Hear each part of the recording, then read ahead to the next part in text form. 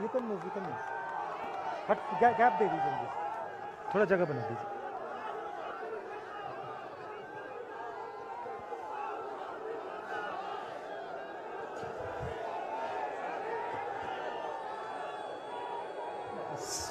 Stage पे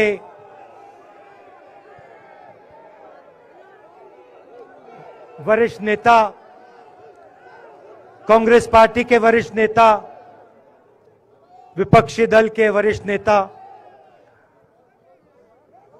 हमारे प्यारे कार्यकर्ता,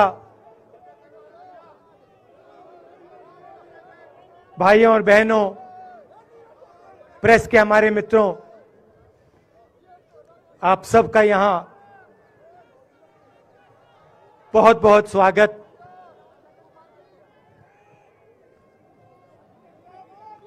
आप आज यहाँ बर्फ़ में खड़े हैं। मगर आप में से किसी को सर्दी नहीं लग रही है। आप बारिश में खड़े हुए, कोई भीगा नहीं। गर्मी में आपको गर्मी नहीं लगी, सर्दी में आपको सर्दी नहीं लग रही है। क्योंकि देश की शक्ति आपके साथ है।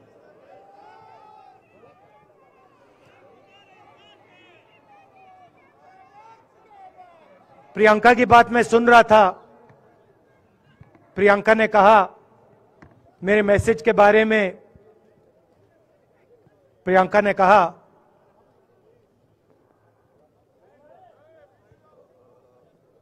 नॉर्मली होता नहीं है, मगर मेरे आँख में आँसू आए।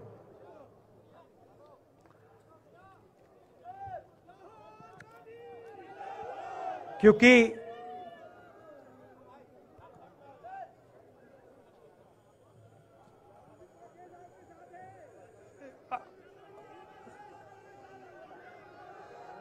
मैं कन्याकुमारी से चला, शुरुआत की। और पूरे देश में हम पैदल चले। मैं सच बताऊँ, आपको अजीब लगेगा, मगर मैं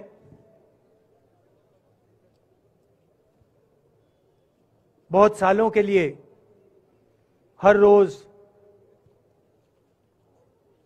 आठ दस किलोमीटर दौड़ता हूँ। तो मैंने सोचा था,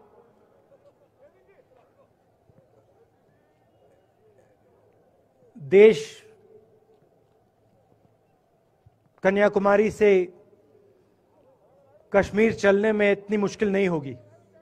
मेरे दिल में था कि आसान होगा। फिजिकली मेरे लिए ये मुश्किल काम मैंने सोचा था मुश्किल काम नहीं होगा। शायद मैं काफ़ी वर्जिश करता हूँ, थोड़ा सा अहंकार आ गया, जैसे आ जाता है।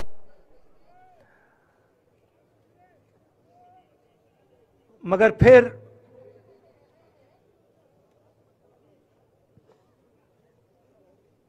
बात बदल गई। जब मैं छोटा था,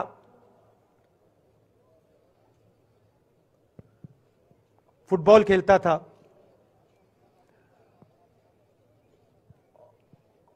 और कॉलेज में जब मैं फुटबॉल खेल रहा था, एक बार मुझे बहुत जोरों से घुटने में इंजरी इंजरी हुई थी।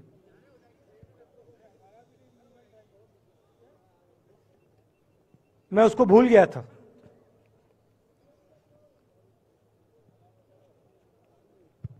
घुटने में दर्द नहीं होता था, भूल गया था उसको। दर्द गायब हो गया था। मगर कन्याकुमारी से पाँच सात दिन बाद घुटने में प्रॉब्लम आई। और ज़बरदस्त प्रॉब्लम आई। पूरा अहंकार उतर गया। और मैं सोचने लगा क्या मैं ये जो 3,500 किलोमीटर हैं क्या मैं इनको चल पाऊँगा या नहीं? तो जो मैंने सोचा था आसान काम होगा वो काफ़ी मुश्किल हो गया।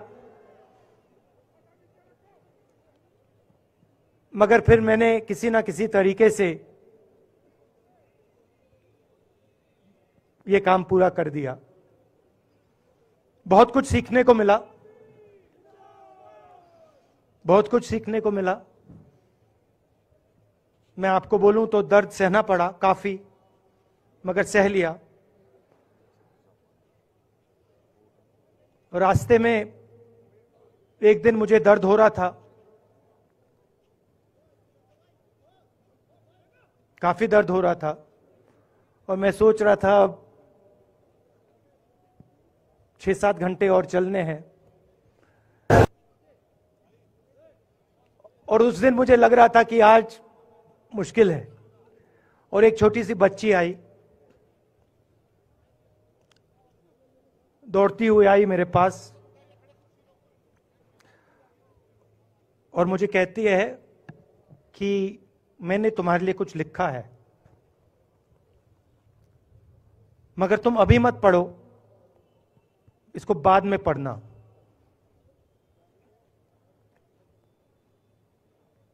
और फिर वो मुझे गले लग के भाग गई। फिर मैंने सोचा अब पढ़ता हूँ, क्या लिखा है?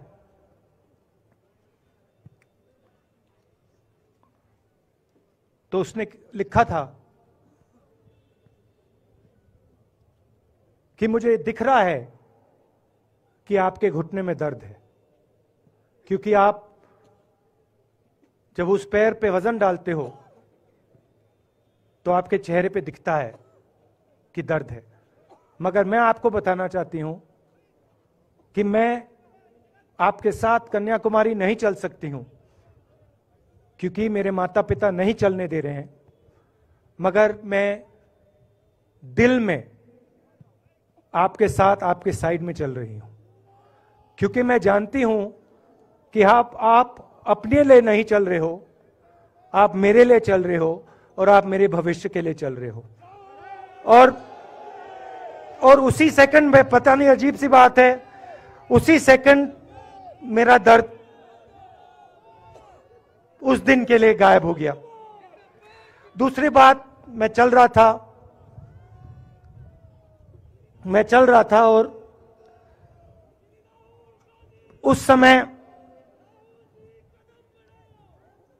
उसी समय वहाँ पे थोड़ी सर्दी बढ़ रही थी। सुबह का समय था और चार बच्चे आए।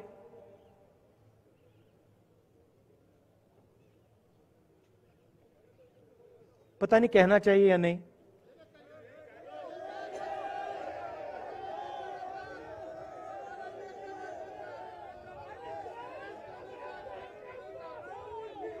तो कह देता हूँ, छोटे से बच्चे थे भिकारी थे, भीख मांगते थे, और मेरे पास आए, कपड़े नहीं थे, मैंने देखा शायद मजदूरी भी करते थे तो थोड़ी मट्टी थी उन पे। खैर, मैं ये चीज़ें देखता नहीं हूँ तो मैं उनके साथ गले लगा। घुटनों पे गया ऐसे उनको पकड़ा मैंने, क्योंकि मैं उनकी लेवल पे रहना चाहता था। और फिर, नहीं, सुनिए मैं ये बात कहना नहीं चाह रहा था, मगर कह दूँगा।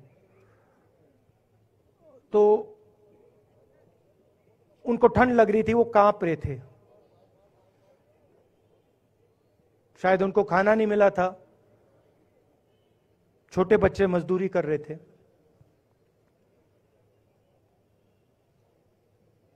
तो मैंने सोचा कि अब अगर ये स्वेटर नहीं पहनते हैं, अगर ये जैकेट नहीं पहन रहे हैं तो मुझे भी नहीं पहनना चाहिए। मगर मैं मैं मैं झिझका क्यों आपको बताना चाहता हूँ? मैं झिझका क्यों आपको बताना चाहता हूँ? जब मैंने ये खत्म किया, मैं चल रहा था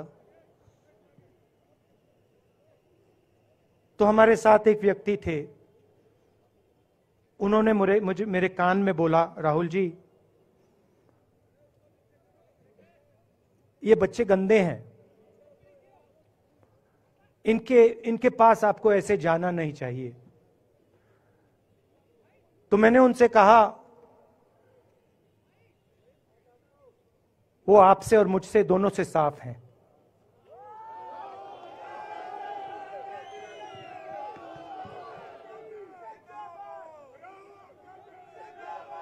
तो देश में कभी कभी यह विचारधारा दिखाई दे जाती है। दूसरी बात आपको बता देता हूँ। शायद लोगों को अच्छी ना लगे। जब मैं चल रहा था, आपने देखा होगा कि बहुत सारी महिलाएँ रो रही थी। आपने देखा? आपको मालूम है क्यों रो रही थी? नहीं, उसमें से बहुत सारी महिलाएँ इमोशनल थी, मुझसे मिलकर रो रही थी।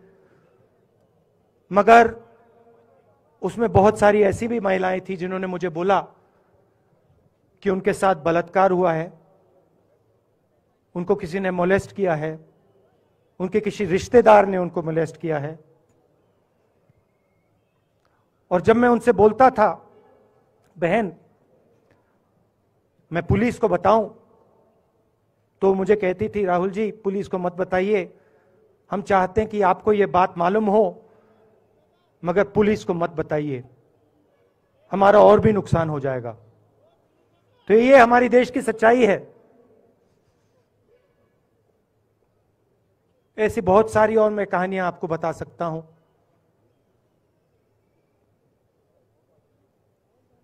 तो फिर मैं कश्मीर की ओर आ रहा था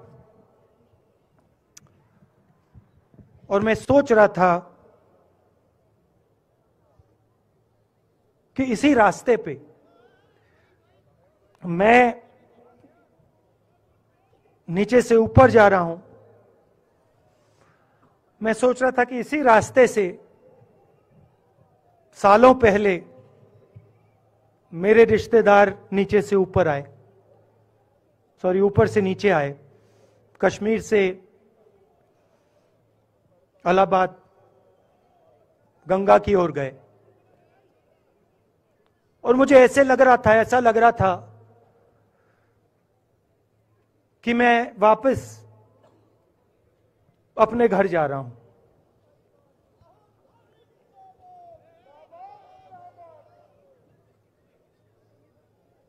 घर मेरे लिए, जब से मैं छोटा था, मैं सरकारी घरों में रहा हूँ। मेरा अपना घर नहीं है। तो मेरे लिए मेरे लिए घर जिसको जो स्ट्रक्चर होता है, उसको मैंने कभी घर नहीं माना। वो मेरे लिए, मैं कहीं भी रह लूँ, वो एक इमारत होती है, वो घर नहीं होता है। घर मेरे लिए एक सोच है। एक जीने का तरीका है, एक सोचने का तरीका है।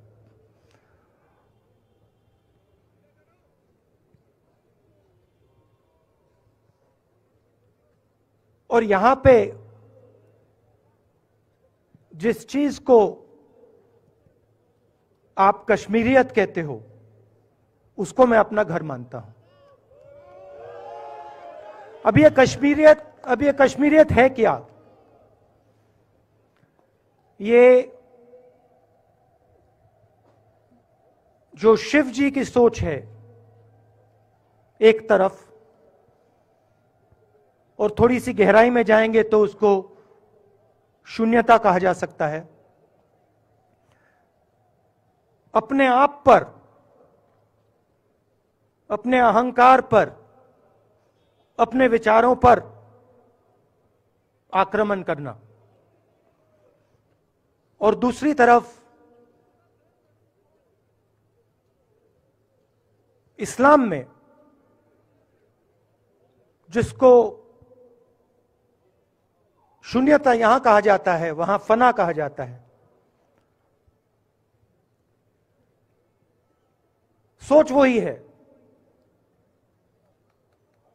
इस्लाम में फना का मतलब अपने ऊपर आक्रमण, अपनी सोच पर आक्रमण, जो हम अपना किला बना देते हैं कि मैं ये हूँ मेरे पास ये है, मेरे पास ये ज्ञान है, मेरे पास ये घर है। उसी किले पर आक्रमण करना।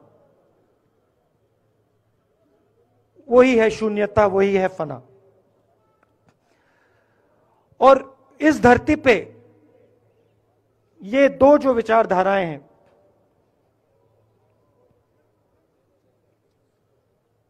इनका एक बहुत गहरा रिश्ता है। और ये सालों से रिश्ता है। जिसको हम कश्मीरियत कहते हैं। यही सोच बाकी स्टेट्स में भी है।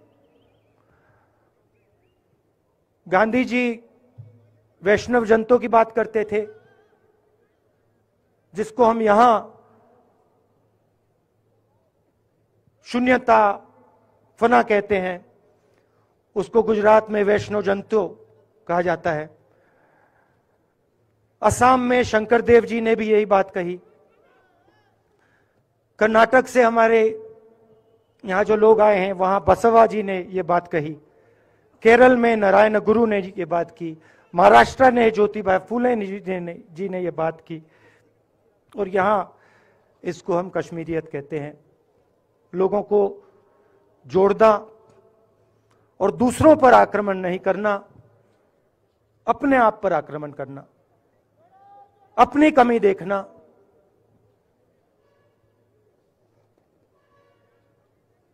मैंने आपको कहा कि मेरा परिवार कश्मीर से गंगा की ओर गया था। अलाहाबाद संगम के बिल्कुल किराने, किनारे, वहाँ पास में हमारा घर है।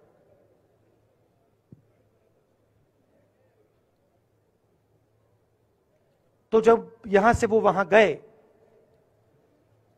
उन्होंने कश्मीरियत की जो सोच थी, उसको गंगा में डाला था। गंगा में ले गए उस सोच को और उत्तर प्रदेश में उस सोच को फैलाया था, जिसको उत्तर प्रदेश में गंगा जमुना तहजीब कहा जाता है।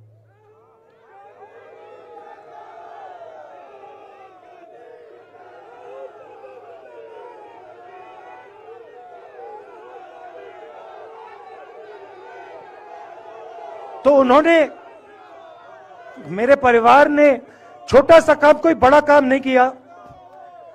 जो आपने उनको सिखाया, जो जम्मू कश्मीर के लोगों ने उनको सिखाया,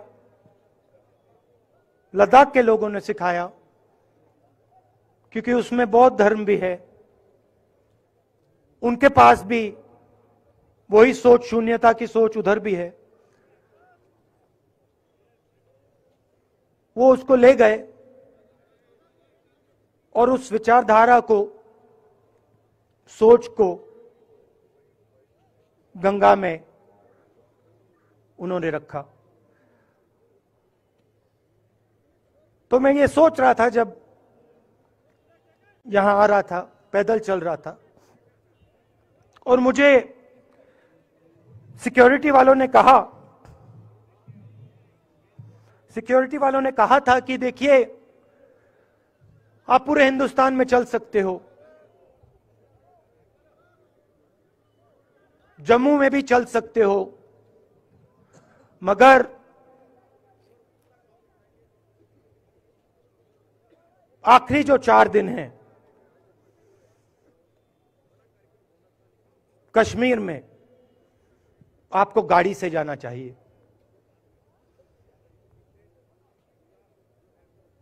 वेणुगोपाल जी ने मुझे कहा पहले, और जो ऑर्गेनाइज कर रहे थे उन्होंने कहा,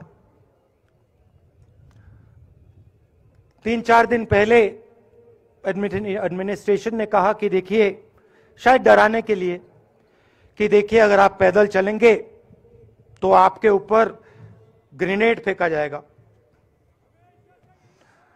तो मैंने सोचा नहीं, सुनिए, मैंने सोचा कि ऐसे करते हैं। मैं अपने घर वापस जा रहा हूँ। चार दिन पैदल चलूँगा। अपने घर के जो लोग हैं, उनके बीच में चलूँगा। और मैंने सोचा कि जो मुझसे नफरत करते हैं, उनको क्यों ना मैं एक मौका दूँ कि मेरी सफ़ेद शर्ट का रंग बदल दें, लाल कर दें?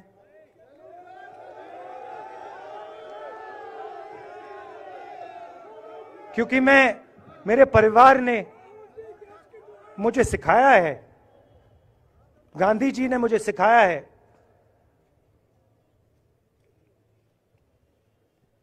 कि अगर जीना है तो डरे बिना जीना है, नहीं तो जीना नहीं है।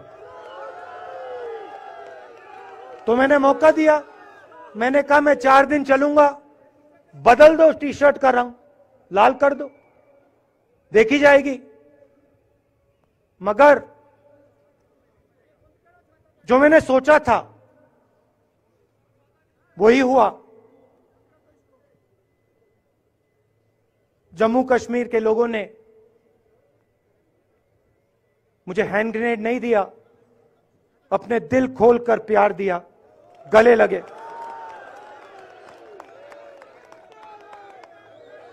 और मुझे मुझे बहुत खुशी हुई कि उन्होंने, उन सबने मुझे अपना माना और प्यार से बच्चों ने, बुज़ुर्गों ने आंसुओं से मेरा यहाँ स्वागत किया। मैं अब जम्मू कश्मीर के लोगों से और जो यहाँ हमारे सेना के लोग काम करते हैं, सीआरपीएफ के लोग काम करते हैं, उनको मैं कुछ कहना चाहता हूँ। सबको, जम्मू कश्मीर के युवाओं को, बच्चों को, माताओं को सबको सीआरपीएफ के बीएसएफ के आर्मी के जवानों को, उनके परिवारों को, उनके बच्चों को मैं कहना चाहता हूँ। देखिए, मैं हिंसा को समझता हूँ। मैंने हिंसा सही है, देखी है। जो हिंसा नहीं सहता है जिसने हिंसा नहीं देखी है, उसे यह बात समझ नहीं आएगी। जैसे मोदी जी हैं, अमित शाह जी हैं, आरएसएस के लोग हैं, उन्होंने हिंसा नहीं देखी है।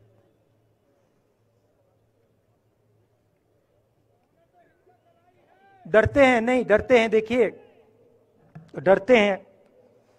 यहाँ पे हम चार दिन पैदल चले, मैं आपको गारंटी देके कह सकता हूँ कि बीजेपी का कोई नेता कोई नेता ऐसे नहीं चल सकता है। और आप, और इसलिए नहीं क्योंकि जम्मू कश्मीर के लोग, इसलिए नहीं क्योंकि जम्मू कश्मीर के लोग उनको चलने नहीं देंगे, इसलिए क्योंकि वो डरते हैं।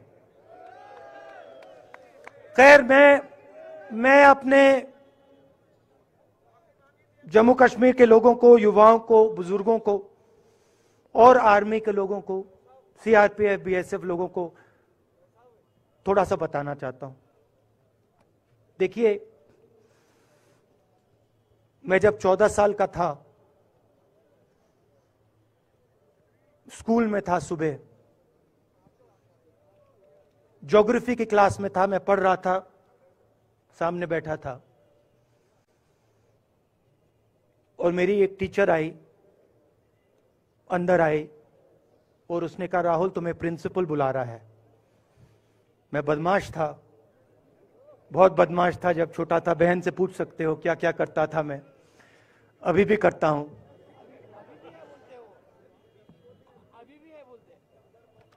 मैंने सोचा प्रिंसिपल बुला रहा है, मैंने कुछ गलती की होगी, अब मार पिटेगी वहाँ पे। केनिंग होती थी, मैंने सोचा था अब केनिंग होगी मेरी। मगर जब मैं चल रहा था, जो, जिस टीचर ने मुझे बुलाया, उसको देखकर मुझे कुछ अजीब सा लगा। और जब मैं प्रिंसिपल के ऑफ़िस पहुँचा तो प्रिंसिपल थे प्रिंसिपल ने कहा, राहुल, तुम्हारे घर से फ़ोन कॉल है।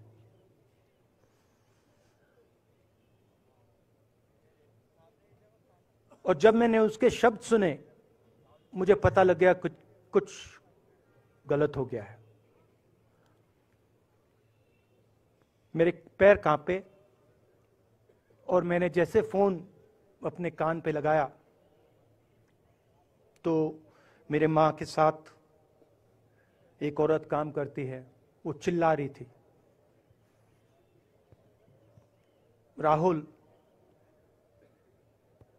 दादी को गोली मार दी। दादी को गोली मार दी। दादी को गोली मार दी।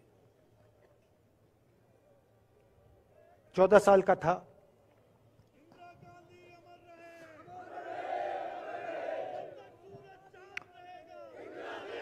देखिए, ये जो मैं कह रहा हूँ, ये जो मैं कह रहा हूँ, ये जो मैं अभी कह रहा हूँ, ये बात प्रधानमंत्री को नहीं समझ आएगी। ये बात अमित शाह जी को नहीं समझ आएगी। ये बात डोवल जी को भी नहीं समझ आएगी। मगर ये बात कश्मीर के लोगों को समझ आएगी। ये बात सीआरपीएफ के लोगों को समझ आएगी। ये बात आर्मी के लोगों को समझ आएगी। उनके परिवार को, परिवारों को समझ आएगी। तो मेरे, उन्होंने मुझे कहा, नाम ओंगमू है उसका। उसने कहा दादी को गोली लग गई, दादी को गोली लग गई। और फिर मुझे गाड़ी में वापस ले गए। प्रियंका को मैंने स्कूल से उठाया, मैं वापस गए।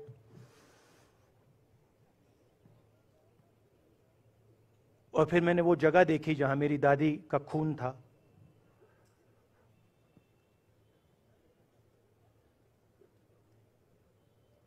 पापा आए, माँ आई।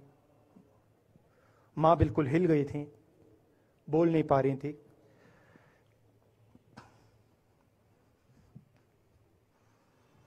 आ, हाँ।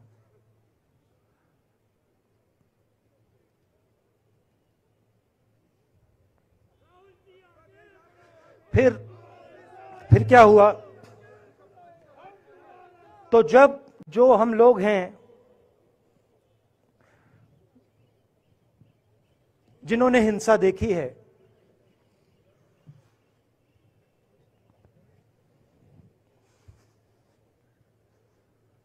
ये जो है ना, ये इसको हम बिल्कुल दूसरी तरीके से देखते हैं।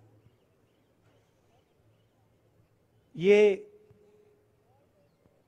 आप सबके लिए टेलीफोन है। ये हमारे लिए सिर्फ़ टेलीफोन नहीं है।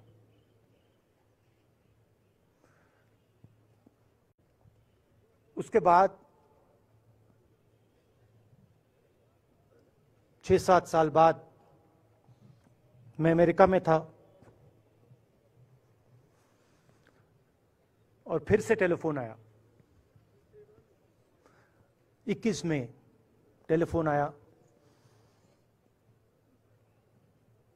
जैसे बहुत सारे, जैसे जो पुलवामा में पुलवामा में हमारे सैनिक मरे थे, उनके घर टेलीफोन आया होगा।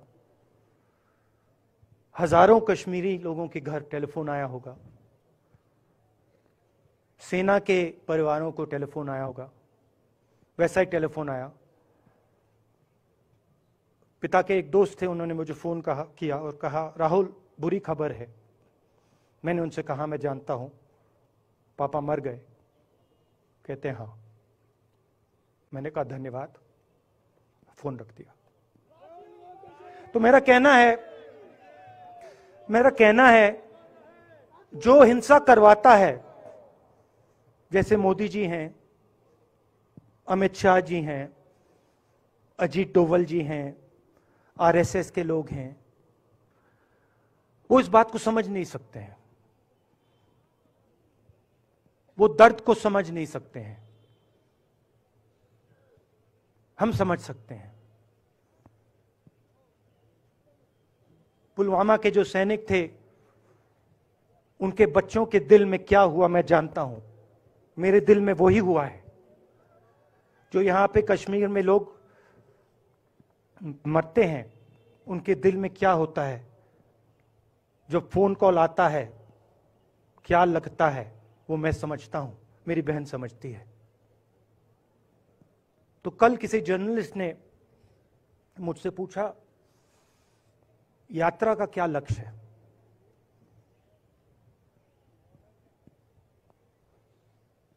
कहा कि यात्रा क्या अचीव करना चाहती है? जम्मू कश्मीर में क्या अचीव करना चाहती है? मेरे उस समय दिमाग में आया, मगर मैंने कहा, नहीं बोलता हूँ। कल भाषण में बोलूँगा। यात्रा का लक्ष्य है कि ये जो फ़ोन कॉल हैं, चाहे आर्मी के हों चाहे एस के हों, चाहे कश्मीर के लोगों के हो, ये फ़ोन कॉल बंद हो जाए।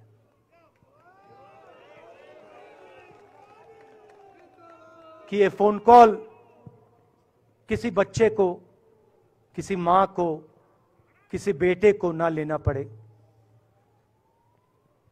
मेरा लक्ष्य, ये जो फ़ोन कॉल हैं, इनको बंद करने का है। अब अब देखिए, बीजेपी, आरएसएस के लोग आक्रमण किस चीज़ पे कर रहे हैं? मुझे गाली देते हैं। मैं उनका धन्यवाद करता हूँ, क्योंकि मैं जो मैंने आपको शून्यता की बात की, शिव की बात की, उसको मैं समझता हूँ। और मैं दिल से उनका धन्यवाद करता हूँ कि जितना भी वो मेरे ऊपर प्रेशर डालें, जितनी भी गाली लगाएँ, जो भी वो करें, उससे मैं सिर्फ़ सीखता हूँ। तो मैं एक प्रकार से उनका धन्यवाद करता हूँ।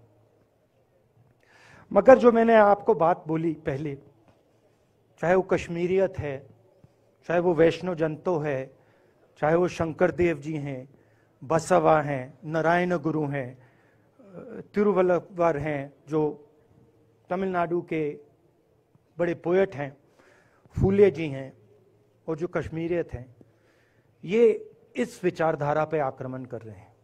और ये जो विचारधाराएँ हैं, ये इस देश की नींव है, इस देश की फाउंडेशन है। और आपने जो किया, जो यात्रियों ने किया, हम सबने किया, इस विचारधारा की रक्षा के लिए किया है। मैंने ये काम अपने लिए नहीं किया। मैं ऐसा काम अपने लिए कभी कर ही नहीं सकता हूँ। मैंने ये काम, मैंने ये काम, हमारे कांग्रेसी मित्रों को ये अच्छा ना लगे, मगर मैंने ये काम कांग्रेस पार्टी के लिए भी नहीं किया है। मैंने ये काम और हम सबने ये काम हिंदुस्तान की जनता के लिए किया है। और और हमारी कोशिश है हमारी कोशिश है कि जो विचारधारा जो विचारधारा इस देश की नींव को तोड़ने की कोशिश कर रही है, जो विचारधारा इस देश की नींव, जो विचारधारा इस देश की नींव को तोड़ने की कोशिश कर रही है, उसके खिलाफ हम खड़े हों,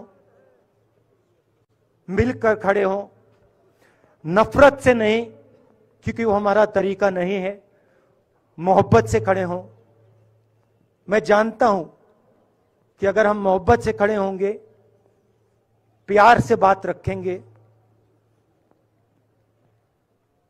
तो हमें सफलता मिलेगी और उनकी जो विचारधारा है, उनको हम सिर्फ़, उसको हम सिर्फ़ हराएँगे नहीं, मगर उस विचारधारा को हम उनके दिलों से निकाल देंगे। तो आपने, देश की जनता ने हमारा समर्थन किया। हमारी कोशिश है कि हमें बीजेपी ने एक जीने का तरीका, राजनीतिक तरीका दिखाया है। हमारी कोशिश है कि हम एक और तरीका, जो हिंदुस्तान का तरीका है, मोहब्बत का तरीका है, वो हम देश को दिखाएँ। हम देश को याद दिलाएँ कि हिंदुस्तान मोहब्बत का देश है इज़्ज़त का देश है, भाईचारे का देश तो हमने जो कहा था, छोटा सा कदम लिया है, बड़ा कदम नहीं है। नफरत के बाज़ार में मोहब्बत की दुकान खोलने की कोशिश की। धन्यवाद, जय हिंद।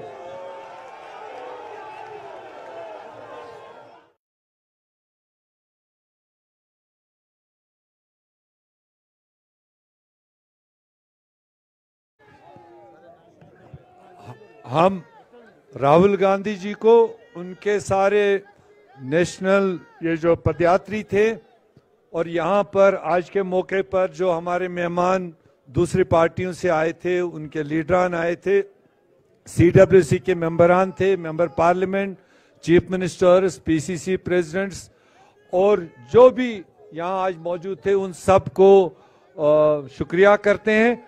और अभी फ़ंक्शन को समापन करते हैं।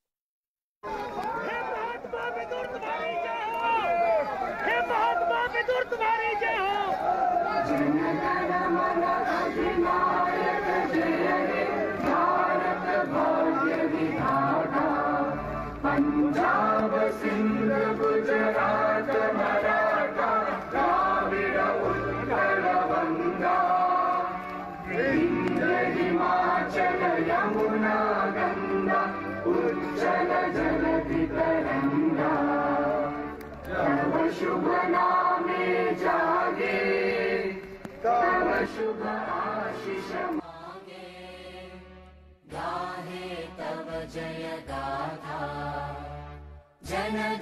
मङ्गलदायक जय हे भारत भाग्य विधाता। जय हे जय हे जय हे। जय जय जय जय हे